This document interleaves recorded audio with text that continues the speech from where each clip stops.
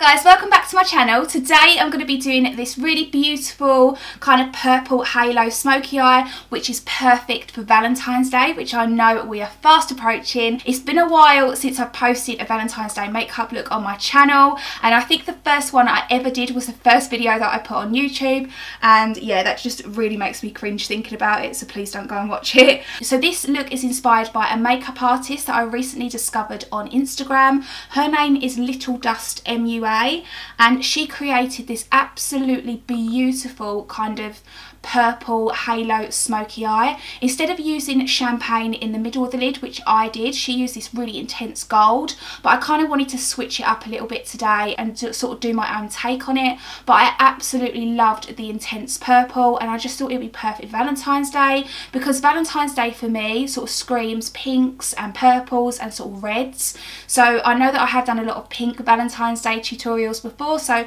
again I wanted to switch it up and use a little bit more of a vibrant purple. So I know I haven't been on YouTube for a little while now and for that I really really do apologise. If you guys are not already following me on my Instagram then you probably don't know that I'm actually 17 weeks pregnant and when I found out I was pregnant I kind of wanted to take a little bit of a step back from YouTube and kind of like enjoy my pregnancy and I know that like the first trimester is probably the roughest that you feel throughout the whole pregnancy and for me that definitely was the case. So I didn't really feel like filming too much and yeah now that I'm kind of like past the first trimester and I feel so so much better I just really want to get back into filming and I've missed it so much like sitting here and chatting to you guys and like creating looks for you. So I really wanted to pop on here today and create this look and do this tutorial for you basically. So guys without further ado I'm going to jump into this tutorial. I am going to be doing a little bit of a chit chat video today because I have got so much to tell you guys and yeah I'm just hoping it's not going to be too too long and too boring for you. So if you want to see how I got this Valentine's Day a makeup look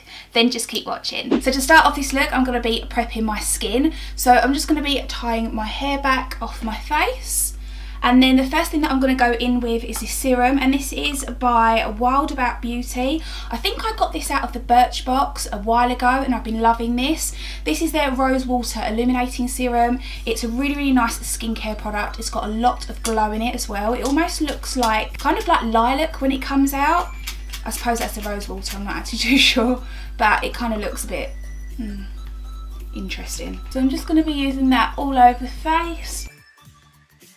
To prep the skin, I'm going to be using this MAC Prep and Prime. This is a Skin Base Visage Primer, and I've had this in my kit for such a long time. I've used it on so many clients, but I never actually use it on myself.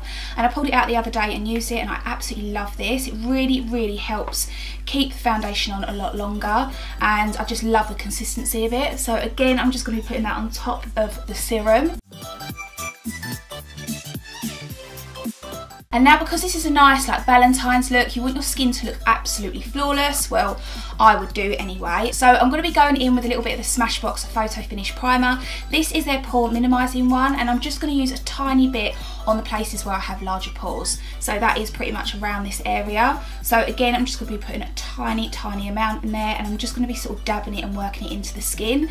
And it's quite good, this primer. It almost acts as kind of like a cement for your pores so you can really notice that it covers them up and I tend to have them around this area but some people might have them elsewhere on their face but it's just a really really good primer if you do suffer from larger pores. So now the skin's prepped, I'm going to be moving on to foundation. So I'm going to be taking a mixture of these two. This one is a Charlotte Tilbury Magic Foundation, and then also the Clinique Beyond Perfecting. So the Clinique one is very, very full coverage, and it's very long wearing. So depending on what you guys are doing on Valentine's Day, whether or not you're going out for the whole day and the night, this is a really, really good foundation for kind of holding onto your skin. It's almost very comparable to the Estee Lauder Double Wear, if you guys are familiar with that foundation. So again, very, very full coverage, very, very long wear wearing. Uh, so I love the Charlotte Tilbury Magic Foundation. This one again is a little bit more natural, uh, but again very buildable. So if you guys wanted a more natural look to your skin, then I would probably opt for this one over the Clinique. But I love these two mixing together because this one just gives a little bit more of a dewy look where the Clinique can be a little bit drying if you do have drier skin. So I love mixing these together for my skin type. I just think it gives a really beautiful flawless look to the skin. So I am going to be using my Beauty Blender as always. And I recently picked up this Cover FX custom enhancer drops.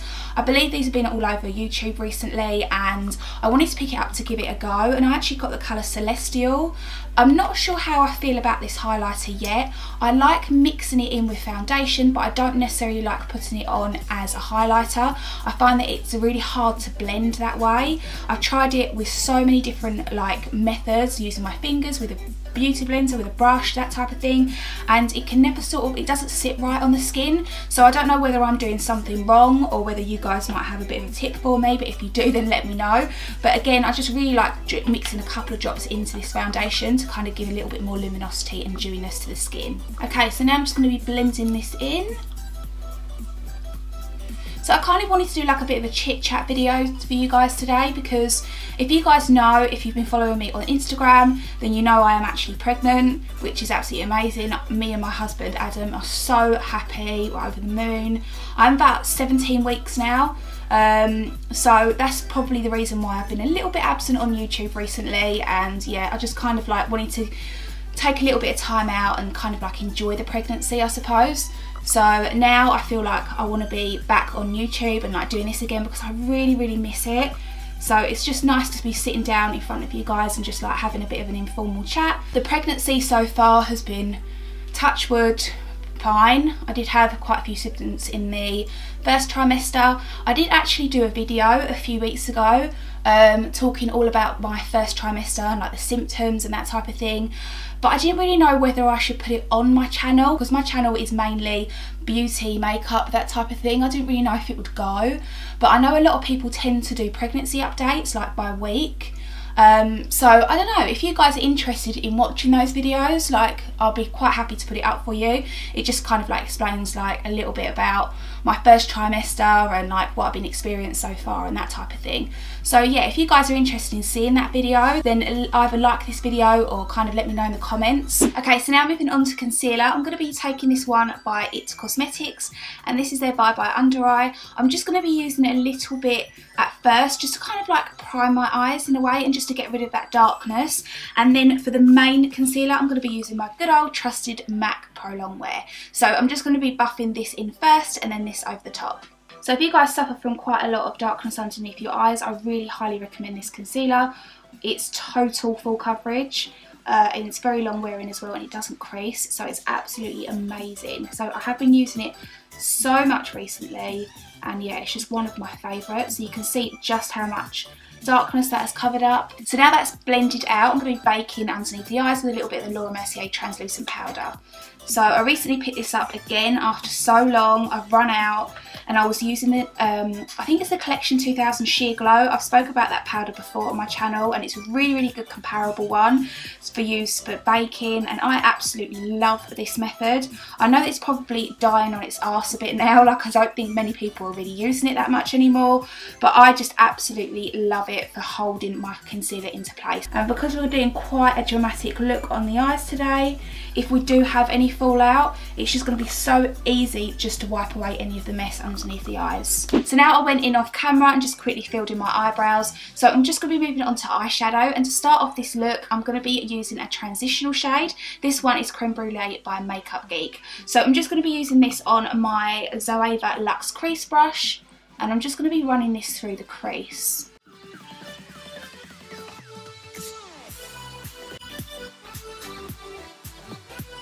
So now to darken up the crease, I'm going to be using this shade also by Makeup Geek and this is called Cherry Cola. And this is a really sort of nice dark sort of purpley brown colour. So it's going to work really well in the crease with that kind of vibrant purple that we're going to put on in a bit. And to do that I'm going to be using my Zoeva Luxe Petite Crease Brush. So I like to put my head back when I focus colours in the crease. So I start off with the maximum amount of product sort of like in the middle part of the lid especially now we're doing kind of like a halo effect eye.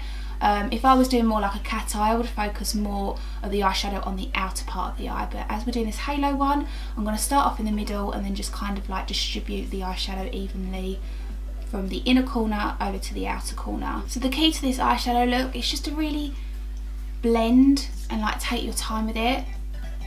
Because we are working with quite a few sort of bold and dark colours, you always want to make sure that you take your time and if you feel like it's getting too harsh you can always go back in with that burst brush with, with a little bit of that creme brulee shade. Just kind of run that through the outer edge of that eyeshadow just to kind of diffuse it slightly.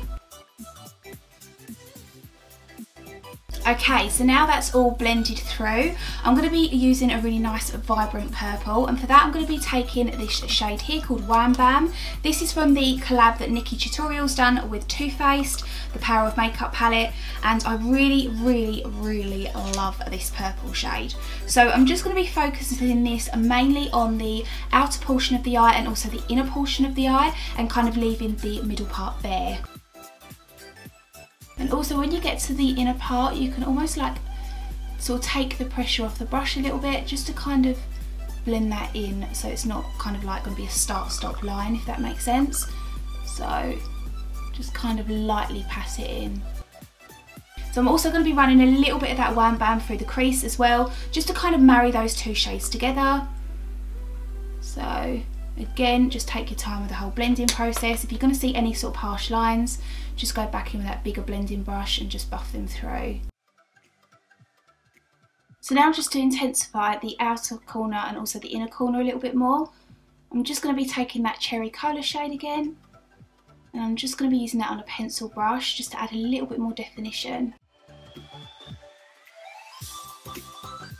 See, although this look is like really dramatic, I still want it to be quite soft and kind of blown out, if that makes sense. Like I don't want it to look too structured. So you guys can totally leave this eyeshadow look here if you wanted to. You could just pop on some lashes and you're kind of good to go. But I wanted to add a little bit more sort of drama and sparkle into the centre part of my lid. So to do that, I'm going to be taking this foiled eyeshadow by Makeup Geek. This is in the colour Starry Eyed and it's just a really beautiful kind of champagne rose gold shade. So I think it's going to complement the purple really well and it's just going to look really beautiful on the centre part of the lid. So again, I'm just going to be using that on my MAC. I think this is a 242 brush. It's one of my favourite brushes for packing on colour with. And I'm just going to be packing that onto the inner part of the lid. So if you guys are wondering whether or not Adam and I are going to find out the sex of our baby, we're actually not. We're going to leave it as a surprise, which I know a few people in our family are dying to find out, but I really, really want that surprise. I just think it'll be so nice after you've given birth to kind of like, I don't know, have that moment, whether or not it's a boy or a girl. So Adam and I have no preference either way. I think either would be lovely, just as long as it's healthy and it's happy. That's all we care about. So yeah, we're really, really excited. I have like a strong feeling that I'm going to have a boy. I think it's because like Adam is like one of three boys and then his dad is like one of two. And I think there are girls in the family but yeah it's always kind of like the firstborn boy is going to be called Adam. So if we have a boy we definitely have to name it Adam. Um, which is lovely. Like I feel like I don't want to break that tradition, like I want to keep it going because it has been going for such a long time. So I'm not going to be adding any eyeliner to this makeup look today, but I just want to add a little bit of definition on the lash line just because we're going to go in with some false eyelashes and I kind of want them to all blend together more seamlessly. So I'm just going to be taking a black eyeshadow. This one is by Makeup Geek and this is in the colour Corrupt. And with a flat definer brush, I'm just going to be pushing that just close to the root of my lashes just to add a little bit more definition and just kind of like help with those eyelashes. So now I'm just going to pop on some eyelashes. These ones are by Eyelure and these are the dramatic ones and the number 202. So now the eyelashes are on, I'm going to move on to the lower lash line. I'm going to be taking the shade Wham Bam again and I'm just going to be buffing that through. Okay, so now taking that black eyeshadow again, I'm just going to be pushing this up onto the lower lash line just to create some more definition. And then adding a coat of mascara to finish. Now to highlight the inner corner of the eye, I'm going to be taking the shade Starry Eyed, which is what we used on the centre part of the lid. Okay, so now moving on to the face, I'm going to be contouring using my NYX contour palette. I have been obsessed with this ever since I bought it. I think I've been using it about two months maybe and you can see how much I've used of it already. I mainly use these two shades just because they're more suited to my skin tone but I absolutely love the formula and they just look amazing on the skin. So I'm just going to be buffing this out onto the cheekbones, the sides of my forehead and also around my jawline. So I'm also going to be contouring my nose as well. I've been doing this quite a lot recently. So I really like the way that it looks. Just gives more of a sort of nose, which is what I like. Although my nose is quite small, I feel like it's quite wide as well, like especially on the bridge. So I do sometimes like just to kind of make the appearance a little bit more slimmer than it is.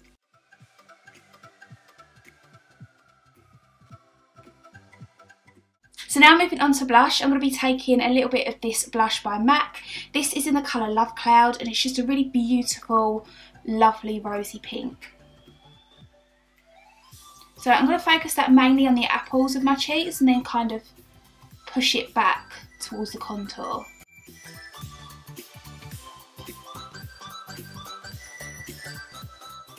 So now moving on to highlighter, I'm going to be taking this Becca uh, and Jaclyn Hill collab palette that they done a little while ago and I'm going to be taking a mixture of these two highlighters here. I believe this is Champagne Pop and Prosecco Pop.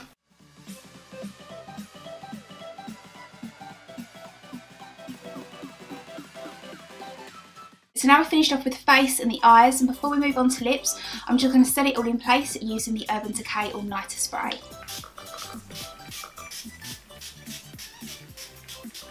Now to finish off this look, I'm going to be taking this Stila All Day Liquid Lipstick in the colour Baci. So now just to add a little bit more shine to it, I'm going to be taking a little bit of that highlighter again and I'm just going to be putting that onto the centre of the lips.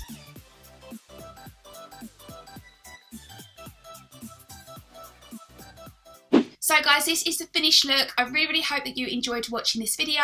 As I mentioned before, if you guys want to see any pregnancy related videos that I've done, don't forget to leave a comment below or also hit that like button for me and I know to put that up for you. And yeah, I really, really hope that you enjoyed this video. So if you guys are planning to recreate this look for Valentine's Day, don't forget to come and tag me on my Instagram. I'll leave my Instagram username right here if you want to come and follow me. And again, I really, really hope that you enjoyed watching this and I'll see you all again soon. Bye!